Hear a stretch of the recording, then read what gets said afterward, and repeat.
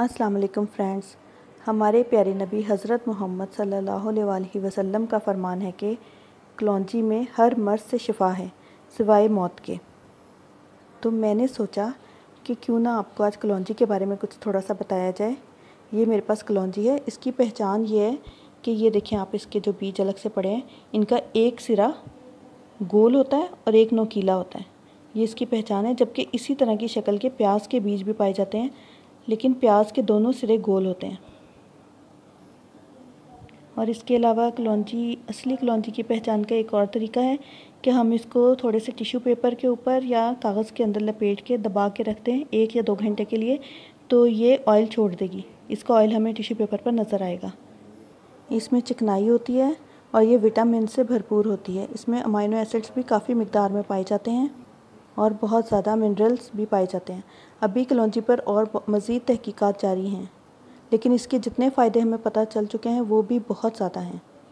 कलौजी को कभी भी चबाना नहीं चाहिए, इसको हमेशा पानी के साथ निगला जाता है, निगल लें पानी के साथ, और छोटे बच्चों को कलौजी का पानी पिलाया जा सकता है।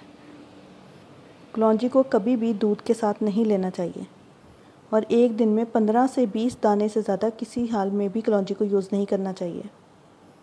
अगर हम कलौजी को अदरक और शहद के साथ मिलाकर इस्तेमाल करते हैं तो इससे हमारा दौरान खून तेज़ होता है, हाथ पाँव की रगें जो सुन हो जाती हैं, उसे ठीक करता है और मुख्तलिफ़ बीमारियों में बहुत फ़ायदा मंद है।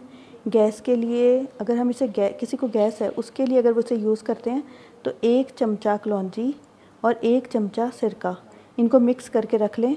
जब ये सिरका ड्राई हो जाए तो एक फक्की सी बन जाएगी। बदहज़मी पेट का दर्द गैस के लिए पाँच से सात दाने निकाल कर पानी के साथ खा लें।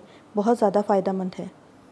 अगर आप चाहते हैं कि आप हर किस्म की मौसमी बीमारी या वबा से बचे रहें तो सात दाने कलौजी को शहद में मिक्स करके निहार मुँह खा लिया करें। इन हर किस्म की बीमारी से बचे रहेंगे। अगर आप तेज़ी से वज़न कम करना चाहते हैं तो सुबह निहार मुँह कलौजी के पंद्रह दाने लेने हैं और नीम गर्म पानी के साथ उसको निगल लेना है। इन कुछ ही दिनों में आपका वज़न तेज़ी से कम होना शुरू हो जाएगा। लंबे अरसे तक जवान रहने के लिए निहार मुँह कलौजी के दस दाने, एक चम्मच शहद में शामिल करके निकल लें। अगर आपको सांस लेने में दुशारी हो रही है, या सीने में, या सांस की नालियों में बलगम जमा हुई है तो आपने दिन में किसी भी टाइम दस दाने कलौजी के पानी के साथ निकल लेना है। कलौजी की तासीर गर्म होती है जिसम में मौजूद बलगम को ख़त्म करती है। अगर आप चाहते हैं कि आपके घर के तमाम अफराद का निज़ाम हज़म ठीक रहे और वो बदहज़मी का शिकार ना हो तो खाना पकाते हुए सात से दस दाने कलौजी के खाने में शामिल कर लिया करें। सीने की दर्द या जकड़न के लिए कलौजी का इस्तेमाल बहुत फ़ायदा मंद होता है। कलौजी को सरसों के तेल में या किसी भी और तेल में जोश देकर सर पर लगाने से सर दर्द और नज़ला ज़ुकाम का ख़ात्मा होता है। अगर आपका कोलेस्ट्रॉल बढ़ा हुआ है तो 10 दाने दिन में किसी भी टाइम नीम गर्म पानी के साथ इस्तेमाल करने से कोलेस्ट्रॉल लेवल भी कम हो जाता है। घर में कलौजी की धुनी देने से मच्छर, मक्खी और दीगर कीड़े मकोड़े भी ख़त्म हो जाते हैं।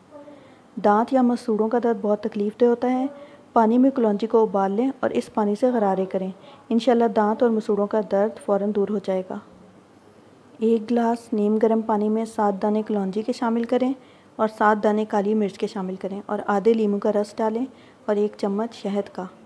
डाल के थोड़ी देर के लिए रख दें, पाँच दस मिनट के लिए और उसके बाद उसे निहार मुँह पिएँ। तो ये आपकी बहुत सारी बीमारियों को ठीक करेगा। मैदे के अमराज, पेट के अमराज, गैस, फालिज और जिसमानी कमज़ोरी में भी बहुत मुफीद है। कलौजी को आप किसी भी तरह, किसी भी फॉर्म में खाएँ, ये बहुत ज़्यादा फ़ायदा मंद है। इन आपकी तमाम तकालीफ़ को दूर करेगी। हेल्दी खाएँ, खुश रहें और खुशियाँ बांटें। अगर वीडियो पसंद आई हो तो लाइक, शेयर और सब्सक्राइब ज़रूर करें और बेल का बटन ज़रूर दबाएँ। शुक्रिया।